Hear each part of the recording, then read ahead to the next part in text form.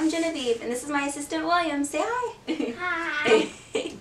We're going to be showing you how to make an edible aquifer, show you the different layers within our aquifer system. First, we're going to have our crushed ice, which represents limestone. Next, we're going to use Sprite, which represents our water. Next, we're going to use sherbet ice cream to represent our topsoil. Then we're going to use Cocoa Puffs to represent our unsaturated soil. After we use the unsaturated soil, we're going to go ahead and use crushed Oreos to represent our dirt. Next, we're going to add sprinkles to represent our grass and our organic matter that we have on Earth.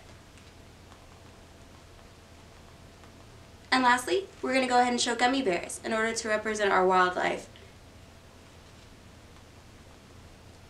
We're going to show our strawberry syrup that represents our pollutants. First, we're going to go ahead and show the limestone that's actually within the aquifer. It's going to be represented by this ice. Do you want to pour it inside the cup for me? Very good.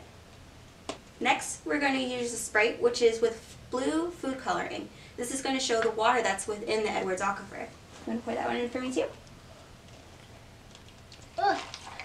I can't spell it. Oh my oh. gosh, cool. Next, we're going to go ahead and use the sherbet ice cream to represent the topsoil. You going to go ahead and pour that one in on top? Oh. Ooh, cool. Why did it stop the bubbling? It did stop the bubbling. Next, we're going to go ahead and add the Cocoa Puffs in order to represent the unsaturated soil. Just put a little bit on there on top for me. There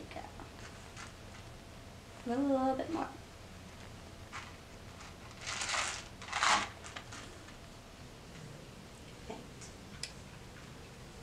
Next, we're going to go ahead and add the crushed Oreos to represent the dirt that we walk on.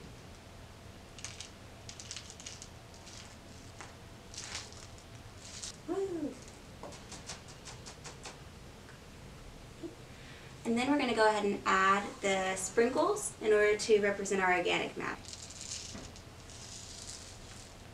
Um,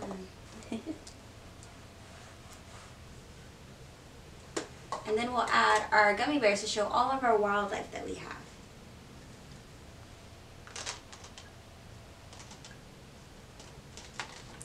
Yay! And then we do have to remember to keep our aquifer clean because pollutants can actually inhabit our aquifer. They seep down far enough, can actually damage it. What's limestone? Limestone is right here, this rock. It has porous holes. So if pollutants seep within there, there's no way of getting them back out. Uh, why? Because it becomes contaminated with our water, and so that's why we have to make sure our aquifer always stays clean. Hmm. Well, go ahead and try to extract water from our well. Go ahead and take a drink.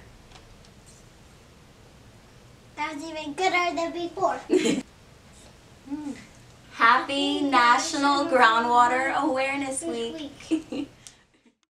Follow us on social media, and you can find this lesson plan on our Pinterest.